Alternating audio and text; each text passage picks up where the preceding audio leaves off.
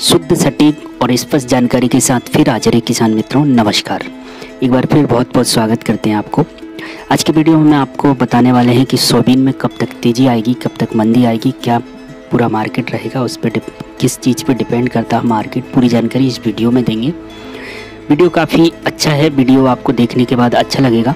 किसान मित्रों, बहुत ही अच्छी न्यूज़ है आपके लिए। आने वाले टाइम में सोयाबीन में बढ़िया तेज़ी देखने की उम्मीद लगाई जा रही है। हमारे जानकार, एक्सपर्ट यही बता रहे हैं कि आने वाले टाइम में सोयाबीन में बढ़िया तेज़ी देखने को मिलेगी। क्यों?